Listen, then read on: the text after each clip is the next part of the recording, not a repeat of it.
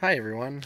A few weeks ago I did a video describing my 11 and a half inch SBR and so now I wanted to take the time to do that for my uh, my 16 inch gun with my LPVO. We're going to go from the muzzle to the butt.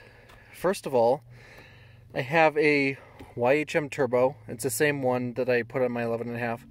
I only have one under that is a YHM flash hider.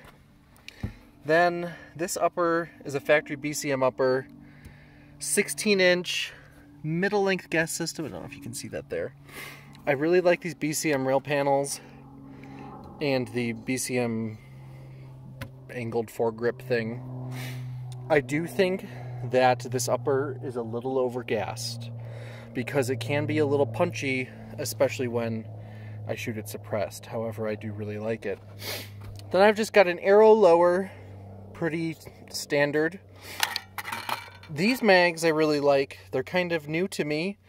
These are Surefeed 20 rounders and I'm kind of a I really like FDE and I like this deeper FDE color. BCM grip. Uh, there's a BCM complete bolt carrier group in here. Then this is the LaRue MBT trigger. I really, really like these triggers.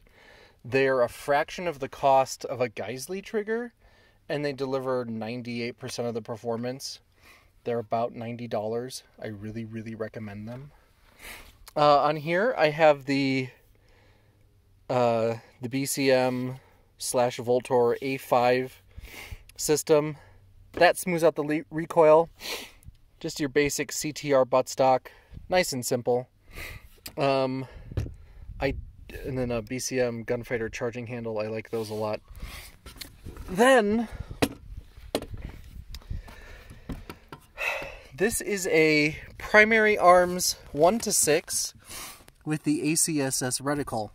I really really like the scope. I've made pretty easy hits out to 500 yards with it um, using the ACSS reticle.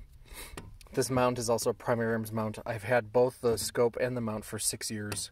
They've been very nice. Um, it is heavy. The glass clarity is not as good as something more expensive, but as you can see, in six years I've put this through the ringer. I've dunked it in a bucket full of soapy water after stripping paint off to scrub more paint off. It's been banged around. I've never had a problem with it.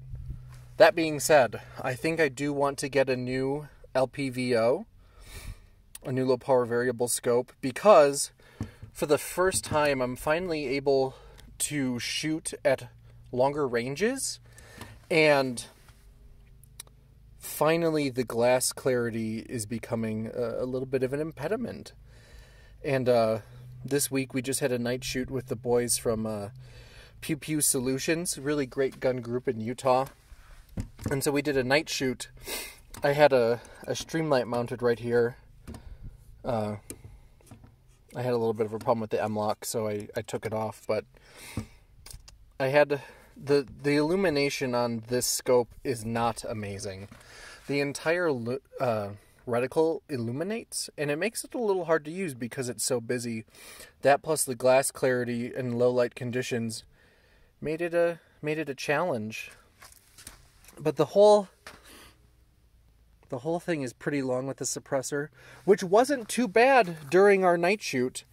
And I'd much rather shoot suppressed than non-suppressed. And it's pretty nice now that all my uh, all my buddies out here are are also getting suppressors. So there's one one last look at it. Nice gun. You'll be seeing more of it.